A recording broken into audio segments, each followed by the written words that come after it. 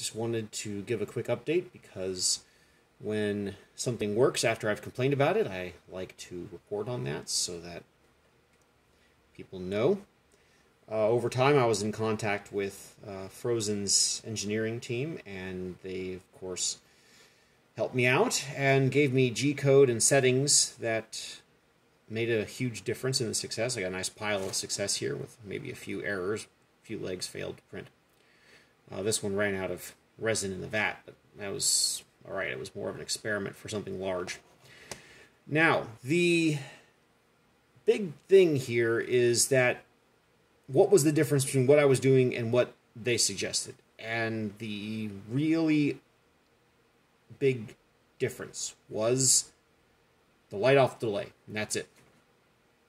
Everything else was pretty much the same, uh, not enough to make a difference, just the light off delay. Now, light off delay seems to be encoded differently depending upon which slicer you use. Uh, Lychee includes the light off delay time in the movement of the build plate, but ChiTuBox does not. So when I was using the same settings in Lychee, they would fail. The reason being that the I believe that the build plate needs to come to a complete stop and the resin needs to settle. When the build plate enters the resin, it swirls it around and the sonic or the uh, Phrozen resin uh, swirls. It's very liquid. It's not very thick, not syrupy like some of them are. So that might be the reason why the light off delay is the important difference. If I take away that light off delay, their settings fail. With it, it works. So I just make sure that I have a certain amount of time in uh, Lychee Slicer extra put in to account for how it calculates differently. Ongoing, though, the problems of the layer line variations on flat surfaces continues. Um, yeah, this guy has it. You know, you can, I don't know if you can see them in the light there. But they're not consistent. Their position varies despite the fact that all of these are were uh, printed. It was printed flat on the build plate. You see, they got a slight elephant's foot. So the excessive lines versus you know normal layer lines. Normal layer lines are fine, but there are some excessive lines or heavy lines that are the pro continuing problem here, and they're different between each side of each of the pyramids here, and they're different between the inner and the outer little metal parts, even though all of these are on the same angle.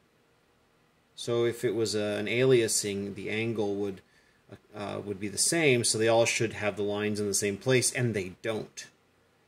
So to me, that indicates that something else, probably some kind of x-axis vagarity, is uh, causing the print head to come down in a slightly different place each time.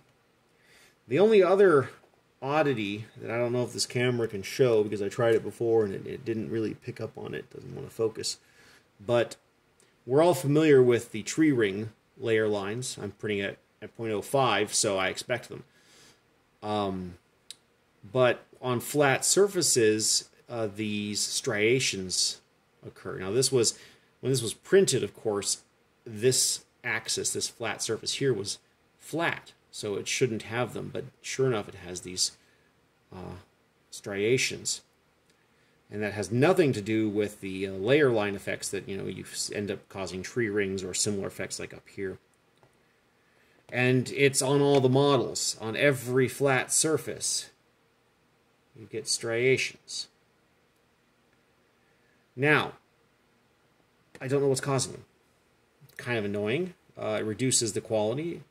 But again it's really only a problem on something that's heavily technical because the curved surfaces and the high details pretty much hide it or it just doesn't exist there. So maybe it's a calculation problem or a software issue. I don't know which. There it is. Uh, this guy's my bigger one. These guys are all uh, too small, so I had to rescale them using the old Dark Millennium Chaos Chosen as the uh, sizing tool for that. Nevertheless, as you can see, I can now print successfully and quite often. So yes, it works. I will post uh, links to the uh, G-code files so you guys can examine them, and maybe someone who knows some of the secrets of the Mythic G-code can maybe indicate uh, why their system works better than mine. But again, these layer line problems, these heavy striation problems remain, um, but they're really only really a big issue on flat surfaces or technical surfaces. It's annoying, but I suppose I could live with them, unless someone maybe has an answer to that. All right, well that's it. I'll let you guys stop staring at my dirty paint desk and have a good day.